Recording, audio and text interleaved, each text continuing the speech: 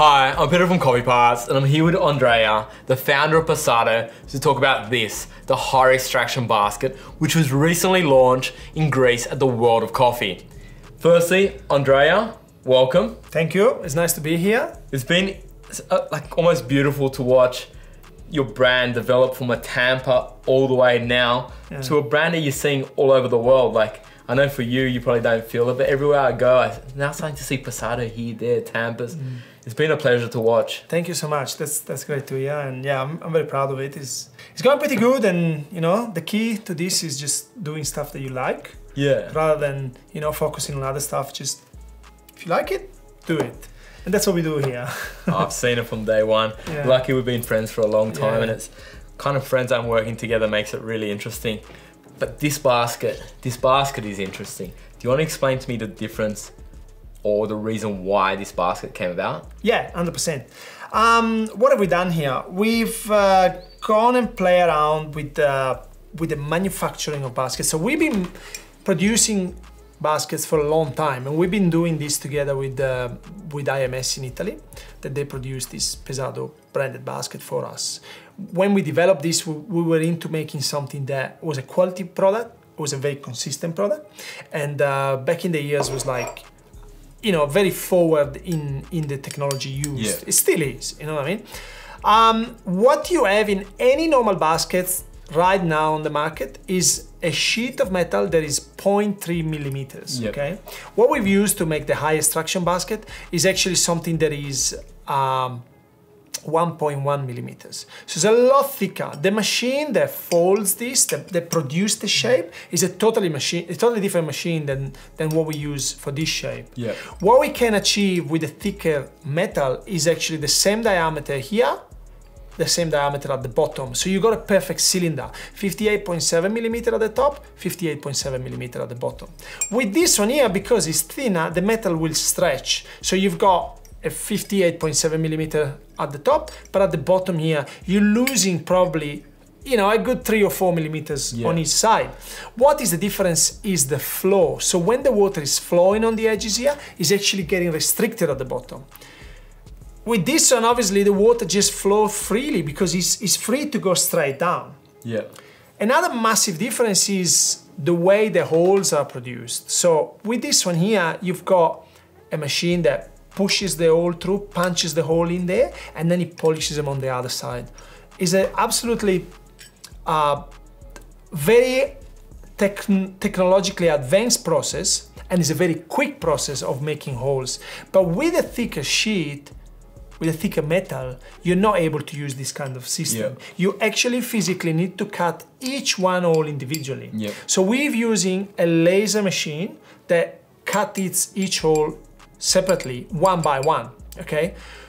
By doing that, we can space them out exactly the way we want it. The CNC machine will just like cut it, each hole individually.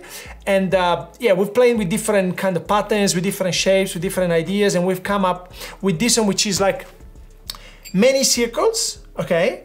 And uh, all 0.3 of a millimeter wide. And the whole pattern is going all the way to the edge of the basket, pretty much as far as you can, as far as you can go to the edge there. We've holes. We put 1,999 holes and the reason why we done that, I mean, with this one here, you got like seven or eight hundred holes The, the whole size, by the way, is the same, but the reason why we made more holes is because we want less restriction. Okay, so what does it mean less restrictions? It means that we want to restrict. We want to. We don't want to restrict the flow of the water or the coffee coming through in the basket.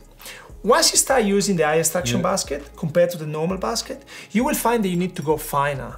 Yep. Why? If you were to just put water in this basket or this basket, the water is not likely to go through this one. Yeah. But with this one, it will flow almost yeah. freely. Yeah. Okay. So you are 100% in control of the flow without any restriction that is yeah. there. That's why you gotta go finer. Yeah. All right. And after all the testing and all the cupping and all the experiments that we've done, we found that with this particular basket, you will have a higher extraction yield. So and hence the name.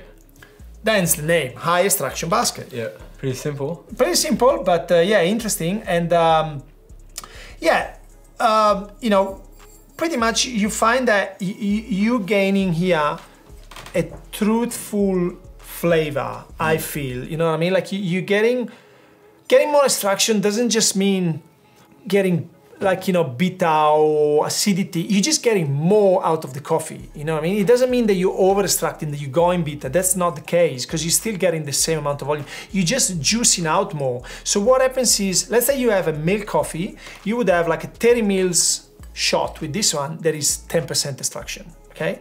And then you mix it with milk. With this one you will have the same shot but it's 12% extraction. So you got 2% more flavor that will push through milk water or, or itself whatever you mix it with you know what i mean for your taste bud to evaluate. So the question is do you want your coffee to be 2% more? Yeah. or you don't? Yeah. that's up to you.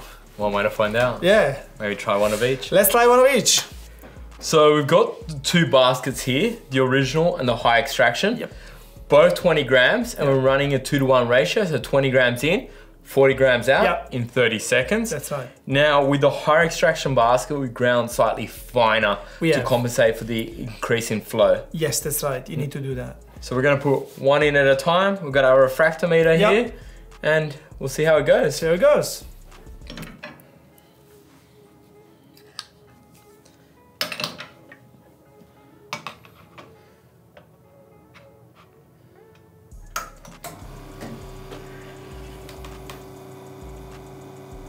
it's looking good to Nice, start yeah, with. It's, it's looking good. Yep.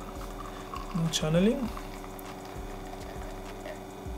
I mean, all the distributing tool that we've got, hopefully, you know, they mm-hmm. help mm-hmm. that Good kind of side of the business. Done. Beautiful. That's a very good extraction. That's 40 grams. Yep. And now, that was actually 33 seconds there. But we're very close. Yeah.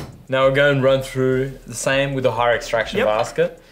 Now with this basket, we're not expecting the flow to be dead down the center No. because of the way the basket's designed. That's right. Like this should pour differently than the other one. You're less likely to get the center stream of um, coffee coming through. You're more likely to get like drips and drops everywhere. So, you know, also we did go a little finer, as we said before. Why did we go finer? See how there's, there's drops everywhere? That's happening because there's no restriction. So the coffee is just coming out wherever wherever it's going, wherever it's flowing, is is coming out there, you know. Yep. Great.